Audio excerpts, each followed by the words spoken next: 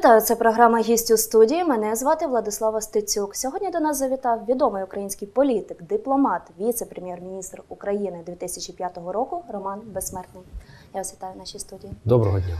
Власне, ви в українській політиці з 94-го року, якщо я не помиляюсь, за цей час можна було там, мабуть, побачити все, що тільки можна уявити. Як би ви коротко могли охарактеризувати взагалі українську політику як такове явище? Ну, з одного боку, це шанс. Треба мати на увазі, що ця політика реалізовувалася, коли Україна набула незалежності. І а, хтось цей шанс використав, хтось ні. А з іншого боку, це колосальне випробовування. Тому що я от, е, подумки повертаюся в 94-й рік, де мені 20-27 років, так? А, І я розумію прекрасно, яке навантаження лягало тоді на цих людей. Я вам чесно зізнаю, що якби вдруге довелось випробовувати це, йти в політику треба, коли тобі 45, там, 50. Чому? Тому що дуже великі соблазни, і не всі їх здатні ці соблазни оминути і пройти шляхом мінімальних внутрішніх компромісів. Тому що це дуже важко, коли ти бачиш навкруги, коли люди весь час ідуть на компроміси з власним сумлінням, а ти маєш дотримуватися закону, дотримуватися якихось принципів і так далі. Тому це свого роду друге слово випробовування. Це шанс і випробовування. Що е, за ці 27 років перемогло, мені дуже важко про це сказати, тому що я був всередині. Скоріше про це мають сказати люди, які ззовні. Хоча вперше я на це подивився об'єктивно, коли, ставши дипломатом, виїхав за межі України. Важко, складно. Україна дуже важко народжується, але як суспільство, як держава, але вона зберігає шанс бути процвітаючою державою. Власне, ви вирішили балотуватись в президенти України. Що вас спонукало до цього рішення? Ну, є декілька а, причин. Рішення давалось дуже важко, тому що насправді я завжди готував себе до того, що буду займатися технологічними складовими. І так і було. В політиці я завжди забезпечував технологічну організаційну складову. Але коли е, я погодився брати участь у мінському процесі, я побачив кволість державної машини, фактично нездалість їх здавати складні екзамени, це був перший аргумент. Другий, коли я побачив, що е, війна це горе, війна це лихо, але війна це точно такий же шанс. І звернув увагу на те, що цей шанс не було використано, тому що відродити військово-промисловий комплекс, економіку України в умовах війни, ну сам Господь нам велів. Чому на п'ятому році війни в нас немає власного там патронного заводу, немає відновленої військово-промислової військової промисловості і так далі. І, власне, це і сформувало відповідь на те, що ну хтось має це зробити, хто принаймні розуміє, що це можливо, і бачить, з яких компонентів це має скластися. Тому і було прийнято рішення балотуватися. Якщо говоримо за рішення, от моделюємо ситуацію. Ви перемогли в президентських виборах, стали президентом України. Яке буде ваше перше рішення? Знаєте, от я вже вкотре їжджу регіонами України, і кожен раз, коли мене задають це питання, в мене якось емоційно вибухає інше рішення. Я там у Львові сказав перше, що нам треба прибрати територію. Там в Дніпрі сказав, що перше це ліквідувати адміністрацію. От ви мені зараз питання задали, і що мені от зараз приходить на голову перша емоційна реакція це просто розпустити нинішній парламент. Може через те, що він тільки вчора зібрався на підготовчу роботу, може через те, що він допік людей вже до mm. а, білого каління, але те, що а, от моя реакція емоційна, даруйте, це просто емоційна реакція така. Вона складається із того, що є цілий ряд причин які на сьогоднішній день вже визріли як факт. От Ми е, загадили територію. У нас існують інститути, які нікому не потрібні, такі як адміністрація президента, тому що по Конституції забезпечує президента секретаріат Ради безпеки. а парламент, який з рейтингом там 2 чи 1,5% відсотки і так далі. Про що це свідчить? Це свідчить про те, що сама машина вона не реагує на настрій суспільства. Тобто суспільство якби живе собі окремо, а держава окремо. Тому от на сьогоднішній день це те емоційне рішення, яке як реакція на ваше питання, скоріш за все, так. В травні цього року ви заявили про намір йти в президенти. Е, Після цього ваше прізвище почали включати у відповідні рейтинги. Е, Втім, наразі ви не в топі цих рейтингів. З чим ви це пов'язуєте? І взагалі, з чим ви плануєте йти до виборців? Як говорити з людьми? Ну, е, в тому числі одною із причин, е, коли приймав рішення балотуватися, коли ще взимку провели опитування, то вийшло так, що я чи не єдиний кандидат, який по параметрах найбільш підходить образу кандидата, якого- б хотіли обрати люди. Але тут проблема в тому, що мене серед заявлених найменше знають люди. А причина тут у тому, що я ще раз вам кажу, я ніколи не готувався до таких долати такі вершини. Тобто для мене технологічна складова була моєю мрією в політиці, і я над цим працював. Це перше. І е, друге, е, з чим іти. На сьогоднішній день є декілька проблем, які кричать, і вирішення яких люди вимагають. Перше це тема війни, друга це тема безпеки, третє це тема корупції, четверте це тема економіки, п'яте це тема соціальної політики. А досвід, який за спиною, це 27 років роботи в різних інститутах: парламент, уряд, адміністрація, дипломатом, викладання. Вони насправді сформували відповідь на ці питання. І те, чим я зараз займаюсь, е, проїжджаючи по Україні, ведучи розмову, іде якраз апробація цих відповідей. От, як люди на це реагують з одного боку, а з іншого боку, йде корекція. Тому що є певні настрої в суспільстві, є певне бачення суспільства. Причому воно десь там схоже, десь відрізняється по регіонах і так далі. Тому тема і внутрішньої, і зовнішньої політики зараз вона по суті проходить таку апробацію. В своїх інтерв'ю ви часто говорите, що ніколи не скотитесь до популізму. Це от там, я не знаю, цілування корів, якась там купівля білизни на базарі, обіцянки, які нічим не обґрунтовані. Е, ну, видно, що ваш стиль поведінки не такий. Проте, як би це не було прикро, але люди у нас сьогодні від політиків більше е, хочуть шоу і більше хочуть, можливо, якісь таких е, голосних гасел, що я прийду і зроблю. Проте, ну як людина це буде робити, виборців, можливо, і не так вже і цікавить. От ви кажете, що спілкуєтесь зараз з людьми. Як от збираєтесь їм доносити ті серйозні важливі теми, які ви ще не озвучили, але можливо якоюсь такою е, простою мовою або мовою, щоб це було максимально популярно? Ну, є дві, два способи розв'язати це питання. Це перше, або самому займатися шоуізацією і шоу, і популізмом, що ні до чого не доведе і черговий раз обманювати людей. Або намагатися роз'яснювати складно, важко роз'яснювати людям правду ситуації і доносити ті складні рішення, які доведеться застосовувати. Що тут може допомогти? Перше, в допомозі тут може служити та група і та когорта населення, яка називається інтелігенція, яка володіє матеріалом, вона розуміє складність ситуації, вона може допомогти їй пояснити. І друге, це ваш, ваші величні журналісти. Справа в тому, що м, так трапилося, що 27 років відбувалася постійно шоуізація політики. Але я вам скажу, що після концерту хорошого, після шоу, перше, що хочеться, це їсти.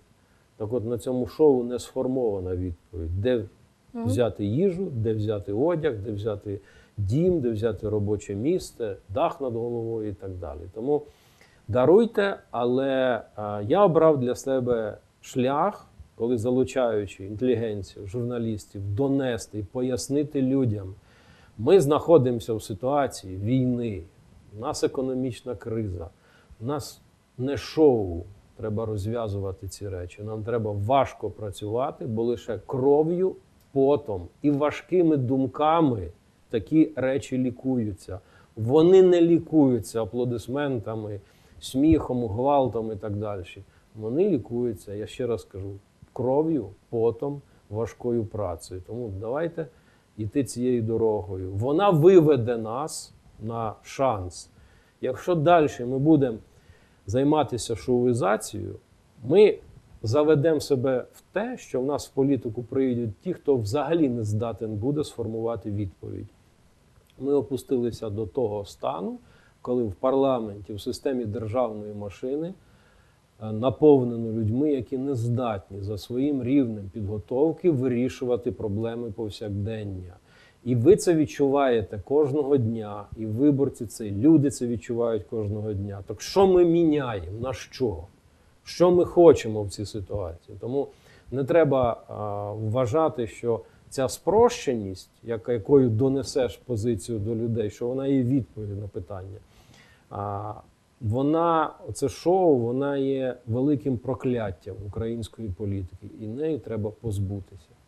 Дивіться, ви заговорили за шлях, яким йде Україна, е, яким вона має йти. Зараз знаю, що чинний наш президент хоче закріпити в Конституції прагнення держави в НАТО і ЄС. На вашу думку, от зараз, в цей період, чи не є це можливо просто піаром? І наскільки доцільно зараз взагалі вносити зміни в Е, Конституцію? Перше, ідея абсолютно правильна. Україна має чітко визначитися. Вона в Європейському Союзі, вона в НАТО чи вона ще десь. Але коли у президента рейтинг довіри 6%, такі речі робити дуже небезпечно. Поясню чому. Я був представником президента, коли президент уже 8-9 рік був президентом. І я знаю, що таке, коли рівень підтримки президента там 8-10%, і він вносить законопроект. Знаєте, як на табло вилітає цифра 3 д- д- народних депутати голосують за ініціативу президента, тому що в нього довіри немає. Тому Мгм. тут треба бути дуже обережним. Я розумію прекрасно, що Петро Олексійович вирішив мобілізувати свій електорат, чинний президент. І він сідає на цього коня і починає на ньому їхати, так як на коні Томосу, так і на, на коні, скажімо, НАТО, Європейського Союзу. Насправді речі правильні. Але чому їх не можна було робити, коли довіра до тебе була за 50%? Розумієте, от тут, тут проблема. І знову ж кажу, це той випадок, коли от я дуже остерігаюся того, щоб хороша ідея в такий спосіб не була дискредитована. Треба бути дуже обережним. Щодо змісту, ми знаходимося в ситуації, коли Україна вимушена чітко визначатися. Або вона з одним світом, або вона з другим. Не тут е, або точно можна сказати так: не Україна оголосила війну Росії. Росія оголосила війну Україні. В Україні сили захищати себе дуже малі. Тому Україні конче необхідні союзники. Україні треба військова підтримка, воєнно-технічна підтримка і так далі. Це не означає, що Україні треба відмовитися від будівництва власної армії, власної там системи безпеки і так далі. Це треба робити. Але в даному випадку вже очевидно, що східний кордон України це те пограниччя, яке ділить світ на європейсько орієнтований світ, ну і, скажімо так, російсько орієнтований. Я не скажу азіатсько, а російсько орієнтований світ. Ви говорили за довіру. Мені от цікаво, особисто для вас, яка людина є ідеалом е, політичного державного діяча в Україні або ж в світі? Ну, е, знаєте, я в політику пройшов, коли мені було 27 років, і поруч зі мною були е, політики, фігури, яким тоді було рівно стільки, як мені. Це такі, як покійний Михайло Горень, Левко Лук'яденко, Левко Горохівський, В'ячеслав Чорновіл. А слава Богу, нині е, живий Ігор Рафилович Юхновський. Туди ж я можу додати і сироту Михайла Дмитровича, і Олександра Ємця. На жаль, більшість з цих людей вже немає з нами.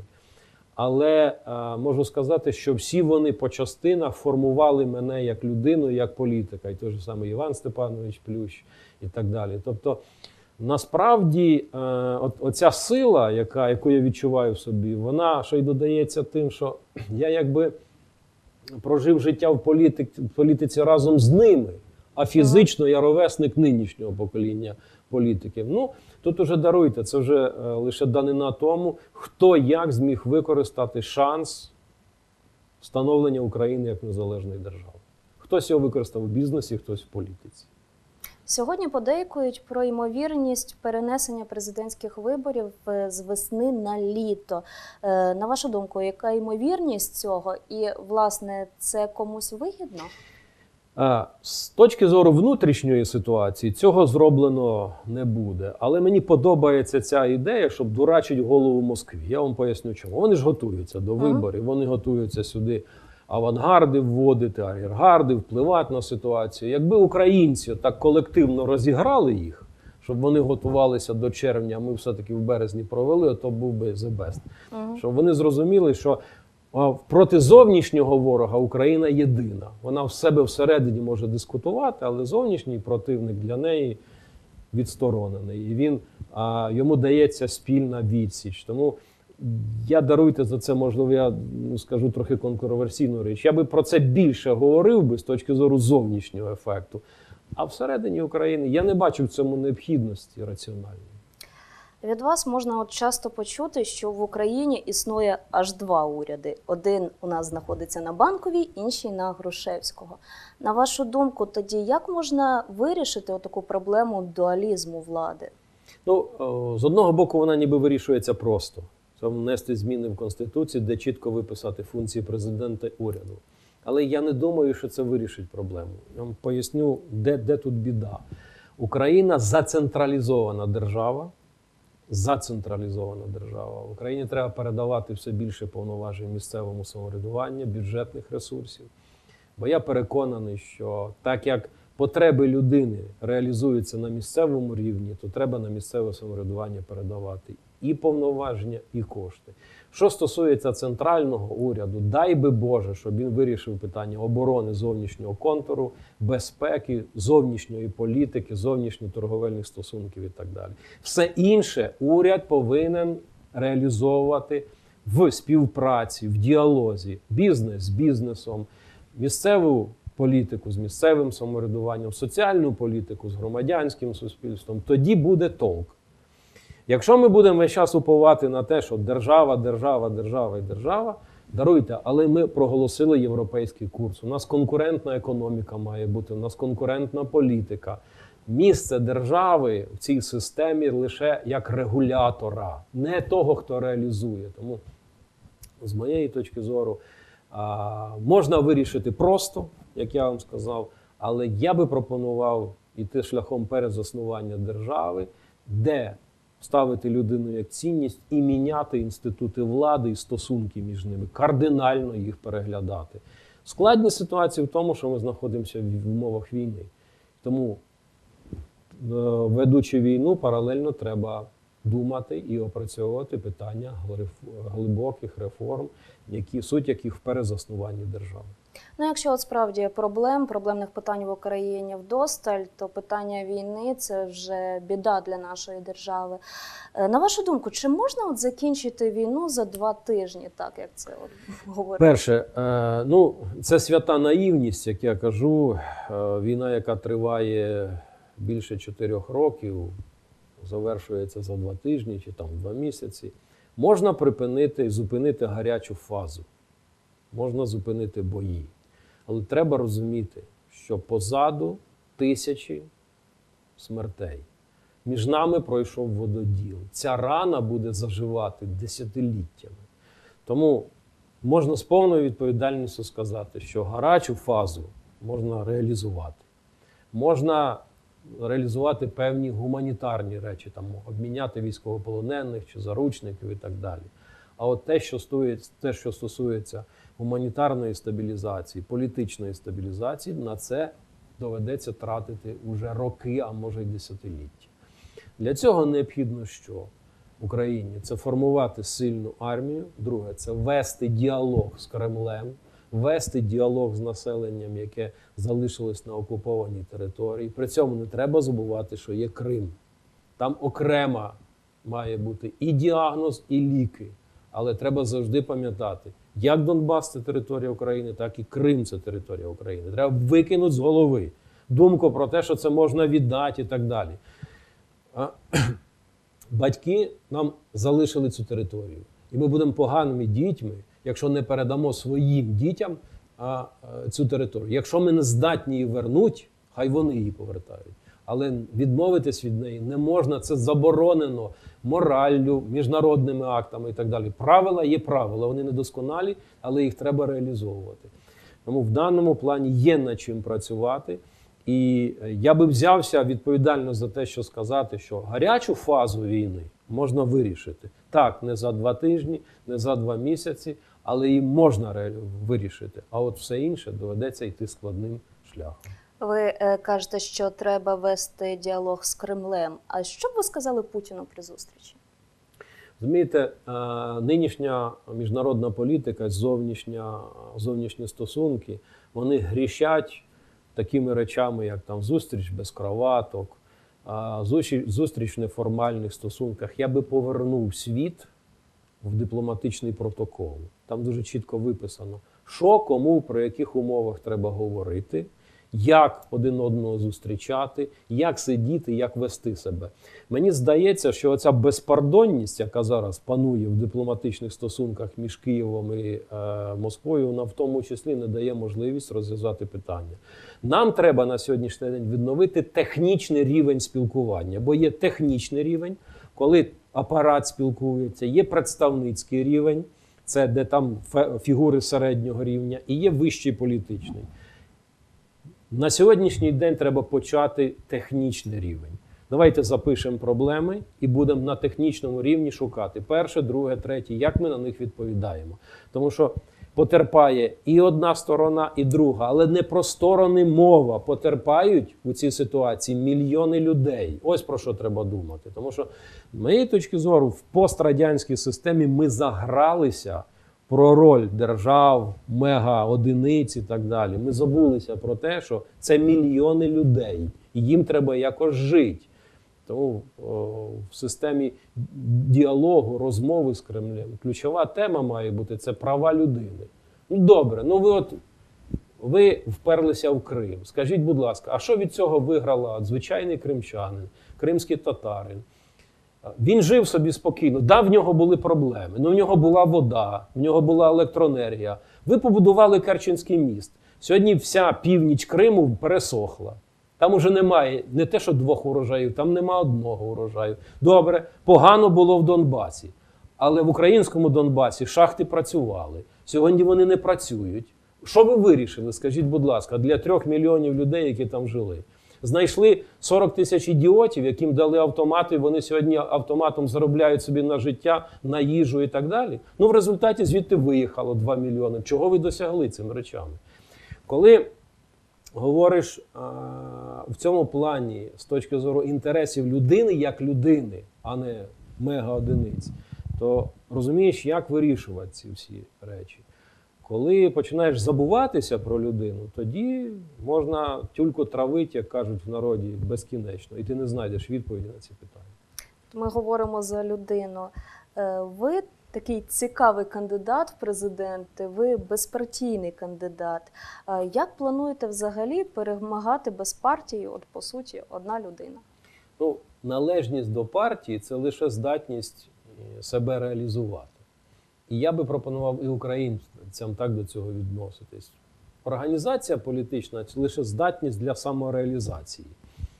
27 років в Україні йде отакий кавардак в політичних силах. Тобто, насправді причина дуже проста: суспільство не структуровано, політична система не структурована. Звідси йде постійний пошук. Я завжди в політиці цінував людей, а не організаційні форми, в які вони об'єднуються. Тому не одного разу доводилося реалізовувати організаційну машину для ведення виборів. Я не бачу тут проблем організувати машину. Де я маю, скажімо, бачу проблеми? Це проблеми з цілісним, цілісним апаратом, який би діяв як державна машина, естеблішментом, те, що називають. Тому що політика це, це чайник, який кипить, який дає температуру вищу, нижчу і так далі. Але машина державна, там проблема. Ми трохи нездало поступили з цією державною машиною. Ми її не шивали нитка до ниточки, а ми її весь час рубали. В результаті декваліфіковано апарат, звідти пішло дуже багато фахових людей. І мова насправді йде, коли я кажу про зміну інституційну, мова йде про те, щоб збудувати цю машину, наповнити її фахівцями, які здатні реалізовувати права людини і на місцевому рівні, і на центральному рівні. На сьогоднішній день завершується формування штабної системи виборчої. Я постійно веду діалог з тими, з ким я хотів би долучити до роботи в державній машині. Але тому, хто більше 20 років провів в українській політиці, не так важко знайти цих людей, тому що багато знають мене, багатьох знаю я. Тут скоріше йде мова про те, щоб ці люди поновили розуміння, а в чому переконаний безсмертний, якою він програмою йде, які його пропозиції. Ось що важливо сьогодні для цих людей, для того, щоб визначитися, готові вони йти з безсмертним чи ні. Власне, от в Україні вже можна сказати, що почався новий політичний сезон. На вашу думку, е, чи будуть якісь сюрпризи в ньому, і що це будуть ці сюрпризи? Ну, будуть і зовнішні сюрпризи, і внутрішні. Зовнішні сюрпризи, тому що а, насамперед Москва, насамперед Берлін, Париж, Вашингтон дуже зацікавлені в тому, щоб в Україні відбувалися якісь процеси. І тому вони будуть ініціювати певні сюрпризи. Якщо ще Берлін, Париж, Вашингтон будуть ініціювати там більш-менш позитивні речі, то Москва від Москви чекати можна чого завгодно. Я вже не кажу від таких близьких і рідних в лапках нам сусідів, як Варшава, Будапешт, Бухарест і так далі. Вони останнім часом такі коники мочать, що диву даєшся. Тому і звідти можна чекати. Це зовнішній контур, внутрішній. Розумієте, ми розпочали сезон із того, що ну, в Донбасі вбито Захарченка. Чим це може обернутися? А, бо хто б це не зробив у цій ситуації, завжди буду показувати, що це Київ. А звідси треба розуміти прекрасно, що нам треба слідкувати за безпекою всередині країни. А це не може не позначитися на політичній ситуації в Україні. Це не може не позначитись на процесах. Почала працювати Верховна Рада, а там бюджет. А тепер уявіть собі, наступний рік колосальне зовнішні зобов'язання, внутрішні зобов'язання, двоє виборів. А тут вам принесуть цифру, де покажуть, що а курс буде там не 1 до 28, а інший. Ну і двері з клямок злітають і пішли плясати. Тому тут буде скільки завгодно сюрпризів. Інша справа, що я би все-таки в даному випадку радив усіх зосередитись на тому, що такі речі, як родина, дуже дорогі нам, як е, батьки, діти. От давайте зосереджуватися на тих речах, які є справжньою цінністю. І е, там справно реагувати і вміло реагувати на зовнішні подразники і внутрішні подразники. Ну, На цьому час нашої розмови вже добіг кінця. Я вам дякую, що завітали до нас, відповіли на мої питання і дякую за таку цікаву, жваву і змістовну розмову. Дякую. Глядачам нагадую, це була програма Гість у студії. Бережіть себе.